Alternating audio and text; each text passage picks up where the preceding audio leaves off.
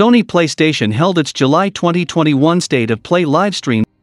Death Stranding Director's Cut and Arkane Studios and Bethesda's Deathloop was generally pushed as the big games to look out for, amongst other indie and third-party titles. Sony had preemptively told fans to keep their expectations in check by confirming games like Santa Monica Studios' God of War Ragnarok and Guerrilla Games' Horizon Forbidden West would be absent. Considering Horizon Forbidden West got its own dedicated state of play event not long ago, it's possible the God of War sequel will receive one as well down the line. But PlayStation confirmed they will have more updates for the games and also the next gen PSVR in a few weeks. So, looking forward to that, here's everything that appeared at the July 2021 State of Play. The show starts with the reveal of the sequel for Moss, the PlayStation VR game.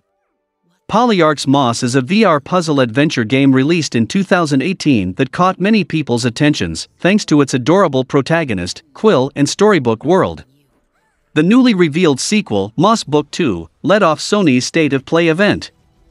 Book 2 promises to continue Quill's story as she explores the hexed castle of the Arcane, and aims to stop a tyrannical ruler who wants to unmake the world, according to a Polyarch press release.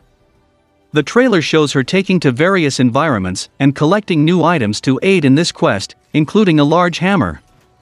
I am interested in this game, and it is one of the games to play if you like Sackboy and Astro. Early details about Moss Book 2's gameplay are scant for the time being. The sequel is confirmed to feature new puzzles, challenging terrain, and plenty of rich detail to make Moss more immersive than ever before. Polyarch describes the experience as having raised the stakes compared to the first game.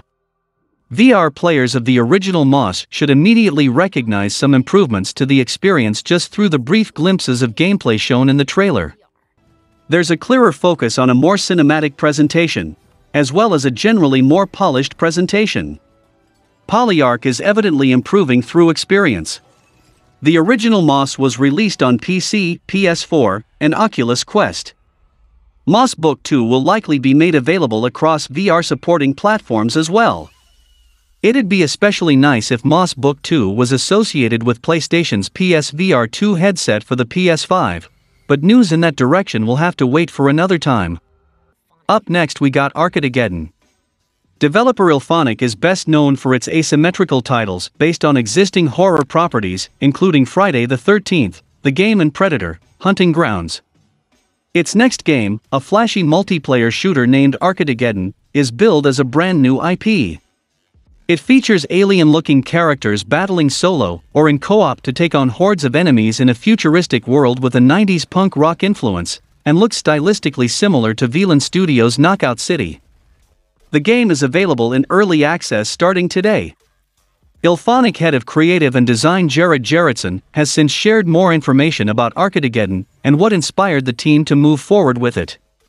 Arcadegeddon's origin is reportedly the effort of Gerritzen and IllFonic to share their version of escapism, citing the pandemic as a growing inspiration for Arcadegeddon to provide fans with entertainment. Gerritzen shares that the Muppets, Gorillaz, and 90s punk rock are influences that have inspired the tone and art style of Arcadegeddon. Its story is about fans of small-time arcade communities wanting to help keep local arcade businesses afloat, as Gilley's Arcade gets hacked by a megacorporation known as Fun Fun Company. Arcadegeddon's co-op shooter gameplay is a combination of PvE and PvP, with horde enemies appearing in numerous types. Arcadegeddon is playable in either single player or co op with up to three others. The game is structured around a loot system with hidden chests and minigames that players may seek out from of the nine gangs in Gilley's arcade. Street cred is teased as an incentive for accomplishing tasks for gangs, as well as earning unique skin cosmetics which identify players as part of each gang. Arcadegeddon is currently in early access for $19.99, and fans who have experienced Arcadegeddon already are sharing their thoughts.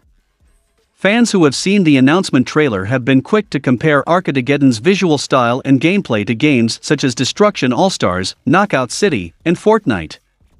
Gerritzen states that more content will be added to Arcadegeddon on a gradual basis through update patches up to the game's release. Arcadegeddon's early access currently contains three unique biome maps, but Gerritzen explains that IllFonic plans to have at least five maps available in early access before launch. After that, we moved into the Tribes of Midgard. One of the most exciting games of the event is the unique action survival RPG Tribes of Midgard. A new trailer revealing developer Norsfell's plans for Tribes of Midgard's post launch content plans was shared during the State of Play, with a focus on its first season, The Wolf Saga. Needless to say, Norsfell has big plans for Tribes of Midgard's future.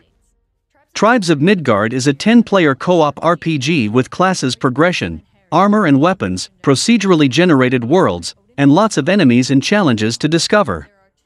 In other words, it's ripe for further content infusions across the board, not unlike if Diablo 3's seasonal structure met the binding of Isaac's post launch support. That's what Tribes of Midgard's seasonal content structure will be for. In the trailer announcing the Wolf Saga season of Tribes of Midgard, Norsfell breaks down what kind of content will be available at launch. Players will have access to eight different classes, two of which are unlocked immediately. Those eight classes each have a single skill tree. Norsfell says classes will expand in future updates. Additionally, each season will add power augmenting runes, exclusive loot, boss fights, quests, and even adorable companions that can't be earned in future seasons.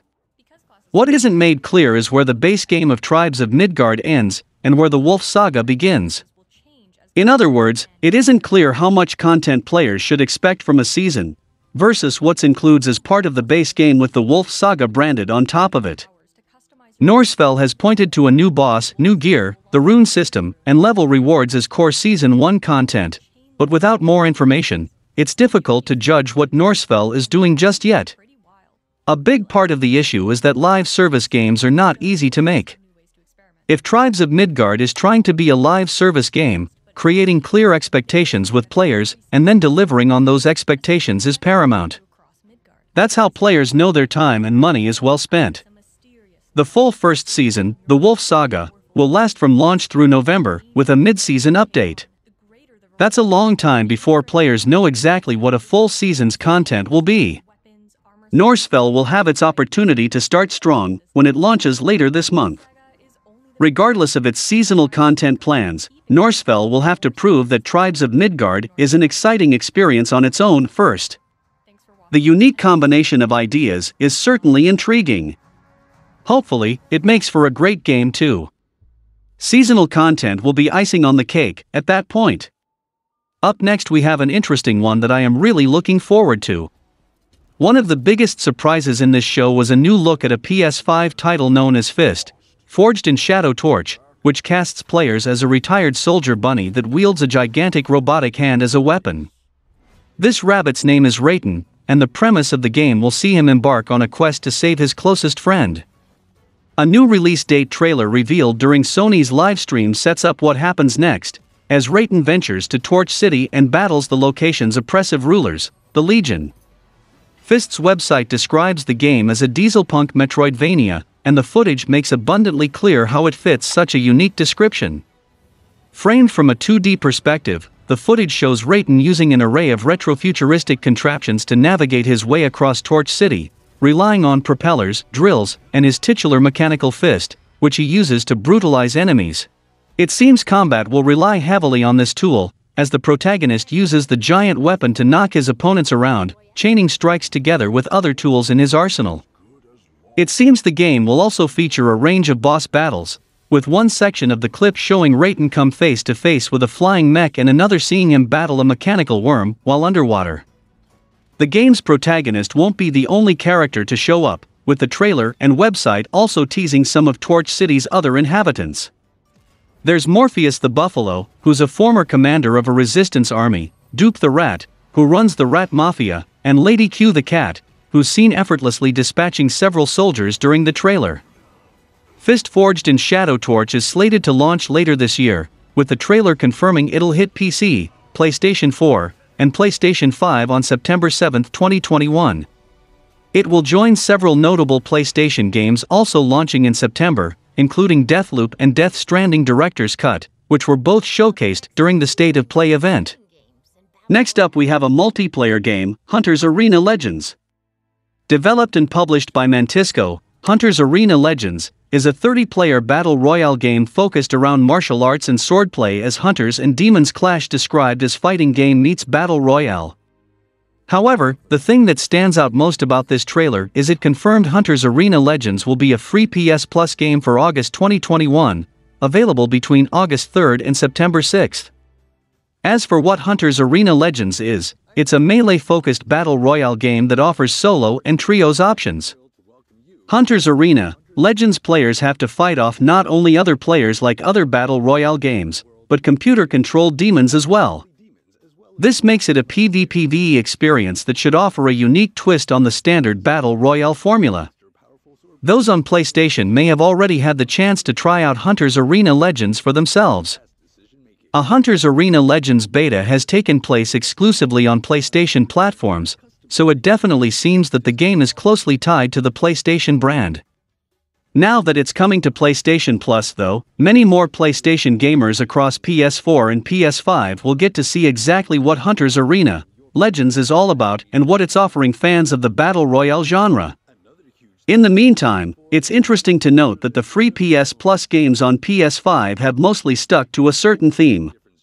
Almost all of them have been brand new game releases, with one of the only exceptions being when Maneater was a free PS Plus game. It will be interesting to see how long Sony sticks with this pattern, especially with the PS5's one year anniversary coming up in a few months. Up next, we have one of my most anticipated games this year, but unfortunately, it got pushed back to 2022. Sifu is one such project, though the action packed trailer revealed during the July State of Play presentation did include some unfortunate news. While it was originally slated for 2021, Sifu's release window has been moved to early 2022 according to the trailer released today. As with most release windows, it's pretty vague, though it likely won't be as massive of a shift as other recent games have been experienced. While nothing has been confirmed, early 2022 likely means the first quarter or so of the year, which would land somewhere between January to April, assuming it doesn't get pushed further. It's not all bad news though.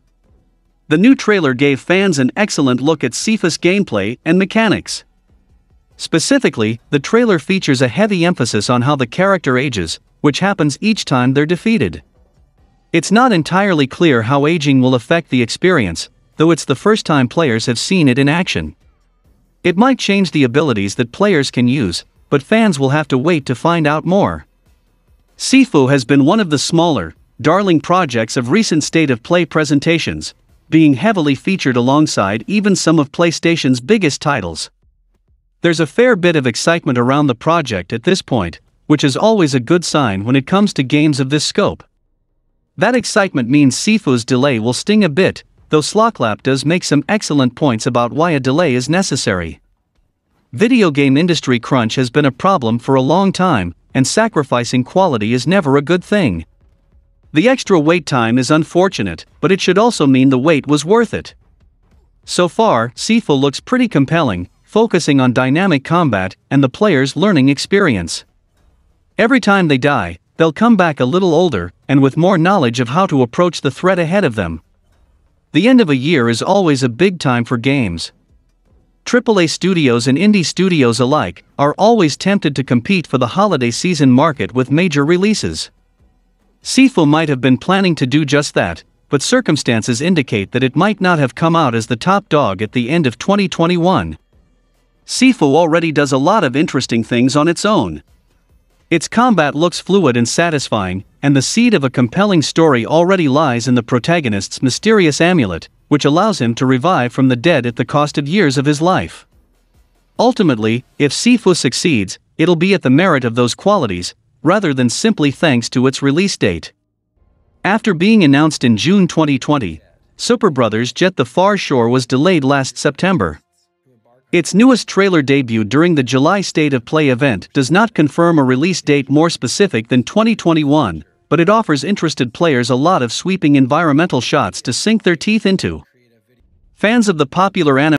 Up next, we had an update from the Yakuza spin off series Judgment.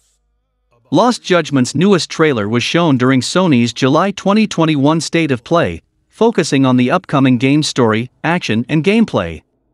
This trailer also demonstrates that Lost Judgment will have the Yakuza series' unique mix of serious storytelling, Lost Judgment is a sequel to Judgment, which itself was a spin off of the Yakuza series that has developed a fan base and identity of its own while keeping the things fans love about the main series games. Rumors about a sequel to Judgment were confirmed in May 2021 when Lost Judgment's existence was leaked on the PlayStation Store. This new gameplay trailer comes just a few days after Sega revealed Lost Judgment's opening cinematic. This new trailer begins in a courtroom as a character informs the judge that a body has been discovered in Yokohama, setting up what could be the game's big mystery. Next, the main character, Takayuki Yagami, is seen discussing the case and being asked to investigate it. Viewers then get to see how the game plays with Takayuki jumping over gaps, climbing on drain pipes, and investigating a crime scene. The trailer then shows flashes of stealth and combat before, in a fashion typical for this franchise, quickly changing tone. The next portion of trailer Lost Judgment's trailer focuses on Takayuki Yagami and the side activities in which he can participate. In a brief montage, Takayuki shows off his creation Yakami bot, then he competes in a boxing match, DDR, and a street race. After showing off Takayuki's skateboarding skills, the trailer reveals what could potentially be a highlight of the trailer for many. Takayuki is shown walking a Shiba Inu down the street before getting into a battle where the dog fights alongside him. The trailer then proceeds to demonstrate Takayuki's fighting skills before shifting the tone to focus on the story again. Lost Judgment is shaping up to be a bigger game than the first entry, and it will be a chance for Sega to establish the series as something separate from Yakuza and more than just a spin off. It seems that Sega intends to support Lost Judgment post launch with DLC and a season pass. The idea of additional content beyond the already vast amount of activities revealed in this latest trailer is definitely exciting. However, we will have to wait and see what this possible DLC will be. Although Lost Judgment clearly owes a lot to the Yakuza franchise, its central premise also has a clear resemblance to Ace Attorney's gameplay. Both Yakuza and Ace Attorney are really doing well for themselves lately. 2020 saw the release of Yakuza Like a Dragon, which put a JRPG twist on the Yakuza universe and got positive reviews from fans and critics alike. As for Ace Attorney, Capcom recently revealed that the Great Ace Attorney Chronicles, a compilation of two classic entries in the series, will release in the West soon. It seems fitting then that 2021 will also see the release of a game that could appeal to fans of both Yakuza and Ace Attorney. Lost Judgment, the sequel to the well liked Yakuza spin off Judgment, releases worldwide in just a few months. After that, we have another sneak peek on the Death Stranding director's cut and some important updates related to it. The new version of the game will launch on September 24th for PlayStation 5, with fans able to pre order the remaster right now.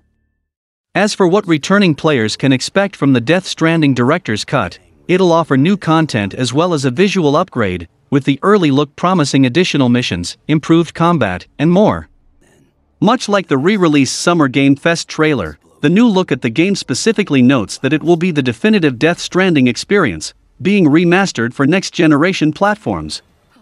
In terms of what's completely new, the trailer promises it will have additional battles and improved combat mechanics, specifically noting that the game's melee has been upgraded. New weapons have been added too, with the trailer showcasing the Maser gun, which fires a bolt of electricity that stuns mules, and mounted machine guns, which seem to now be a fixture of mule camps. Players will even be able to test these extra weapons at a new firing range. New tools have also been added, including a cannon that shoots cargo, a support skeleton, a ramp to help jump large gaps, and a variant of the original game's delivery bots that can accompany the player. It seems Sam can even use the latter as a makeshift vehicle, hopping atop the torsoless robot to speed up travel. The director's cut will even introduce some new story missions, although little was revealed about how substantial a part they'll play in the narrative. According to the official PlayStation Store listing for the game, these missions will take players to an expanded area, allowing them to investigate new parts of the map. Some of these locations appear to be shown during the footage, with Sam navigating through abandoned buildings, rundown laboratories, and some sort of graveyard. It sounds similar to the Iki Island expansion attached to Ghost of Tsushima's director's cut, which will add a new location for players to explore. Finally, the game will be getting a racing mode, with players able to drive cars around the fragile circuit. It seems we'll be able to pick from a variety of tracks and vehicles, competing in time trials in an attempt to set a high score. It is a weird thing to do in a game like Death Stranding, but we will have to wait and see if the racing mode or levels is really demanding. The standard edition of Death Stranding, Director's Cut costs $49.99, whereas the digital deluxe edition costs $59.99. Alongside the base game, the deluxe edition comes bundled with the content of the original deluxe edition. It also brings new in-game suit colors, new power glove colors, new BB pod options, backpack patches, a digital mini art book, the OST, and an avatar set. The PS4 owners of any version of Death Stranding can upgrade to Death Stranding, Director's Cut's Digital Deluxe Edition for $10. The PS4 disc owners of Death Stranding will have to insert the disc to download and play the upgraded version at all times.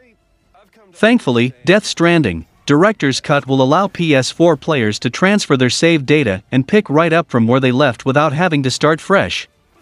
Death Stranding Director's Cut seems like a meaty package, with plenty of new additions to lure old fans and welcome new ones who missed out on the original. And finally, they ended the State of Play event with another look at Deathloop. Said look functions as an extended gameplay trailer that breaks down what's happening for its viewers. It does recap a few elements that the developers have already touched upon, but still provides some new details for fans to dig into. When it kicks off the new stuff, the gameplay walkthrough shows Colt, Deathloop's protagonist, hunt the visionary, Aleksis Dorsey, otherwise known as the Wolf.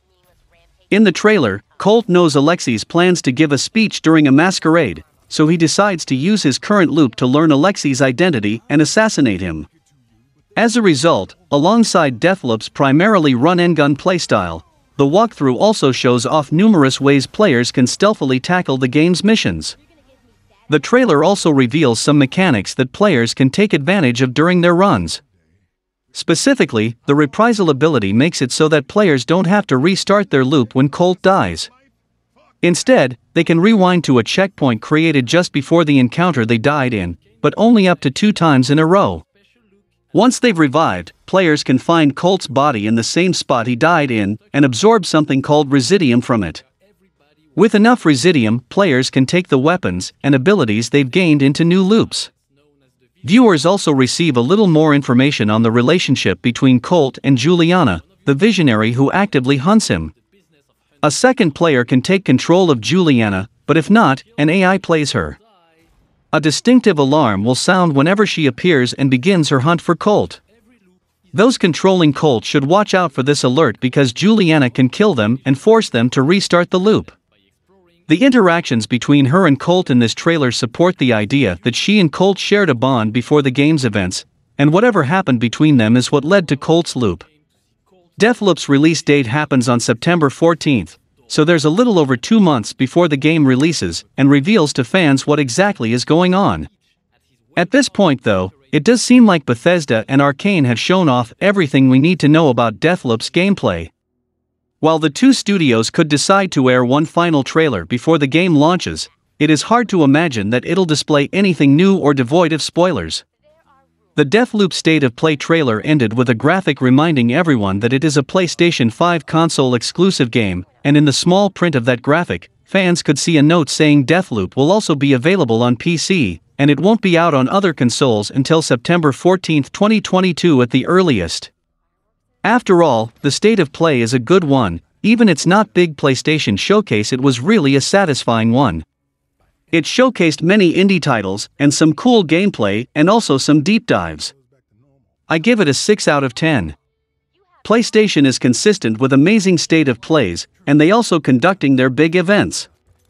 So, check out these games if you like any of them. Support the developers and stay tuned for the big PlayStation event coming in a few weeks. Moving forward, we have an update for the PlayStation 5. Sony launched its PlayStation 5 hardware last year, and while PS5 supply shortages continue to be a pain, the console has otherwise been well received. PS5's added horsepower compared to the PS4 is no joke, and the console's SSD is definitely a game changer.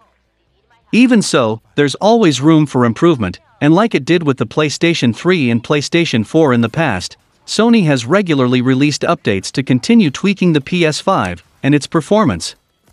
A new firmware update is now available for PS5 users to download, clocking in at about 902 megabytes. PS5 update 21.0103.21.00 doesn't seem to do much beyond improving system performance, but it will still be a required download for those who hope to use the PS5's online features. Luckily, the update is fairly small, and so it shouldn't interrupt one's gaming time all that much. This PS5 update isn't all that flashy or exciting, but small updates like this are important to keep consoles up to snuff. And while this particular update won't exactly light the world on fire, Sony does have more substantial updates planned for future. Anyone interested in getting a sneak peek at those updates can sign up for the PS5 System Software Beta Testing Program, which will allow participants to provide feedback on new features before they're rolled out to the masses. One of the features that fans seem to want the most is the addition of UI themes. PlayStation 4 users are able to customize the backgrounds and sound effects of their consoles by applying a variety of themes that they've earned from games, promotions, or purchased through the PlayStation Store. Someone that has been gaming for a while on PS4 likely has quite a few background themes in their collection and may want to use them on the PlayStation 5. The PS5 user interface is quite a bit different than the PS4 UI, so that could be why themes still haven't made their way to Sony's next generation console. However, one has to imagine that Sony does plan on adding custom themes at some point down the line, especially when one considers just how many themes were released for the PS4 over the years. That being said, nothing official has been announced at this time, so we should keep our expectations in check. There will be many more PS5 system updates in the months and years ahead, so even if fans have to wait a while for themes, there should be plenty of other new features to look forward to as well. One update some people asking for is the M2 SSD expansion. Mark Cerny confirmed that the SSD expansion will take time because they want to give the top-notch experience.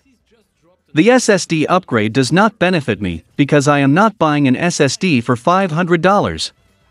I actually can get a 32 terabytes hard drive because I don't play various games simultaneously.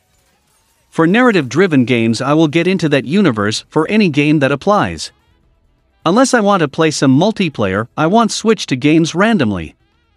I can simply get the games, store it on my hard drive, and move it to the system whenever I want to play that, just keeping some of the games in the actual system. So, SSD expansion and quick resume is not for me, but for common, the SSD expansion should be addressed when the time closes near. And that's all for the video guys, like and share the video for a greater audience. Comment your thoughts on the topics and if you want to contribute for the growth of the channel, the link to my PayPal in the video's description and in the channel banner. Donations are always appreciated, thanks for watching the video, subscribe to the channel and click the bell icon, and until then from SMPV it's goodbye.